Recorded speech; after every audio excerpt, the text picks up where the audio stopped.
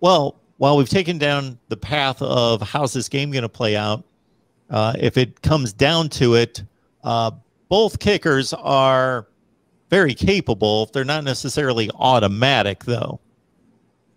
So, Palmer, I'll start with you. Jack uh, uh, Podlesny. yeah, had the, the big kick against Cincinnati. That was a 53 yarder uh, with all the pressure on him to, to either you win or lose. Uh, it was a one point game. At that point, of course, they got the safety.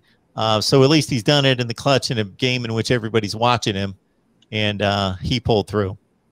Yeah, I mean, I, just thinking about the special teams and kicking game, uh, you know, like Jason said, it, this one certainly could come down to you know a, a, big play in special teams, and whether it's you know Georgia pinning them deep, you know, and Jake Camarda, one of the best punters in the country, uh, you know, being being able to put Clemson's offense in a position where they're uncomfortable, pinned up against their own goal line, or it's like you said, Podlesny feeling comfortable hitting the big kick. You know, whether it's you know fifty something yarder, uh, you know, uh, having to show the leg or something with the clock running down.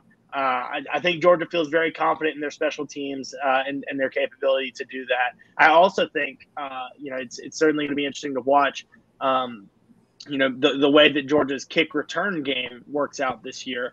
Uh, you know, the, Kenny McIntosh was back there, Kearis Jackson was back there some, uh, and, and they both showed potential to uh, maybe bust off a big one.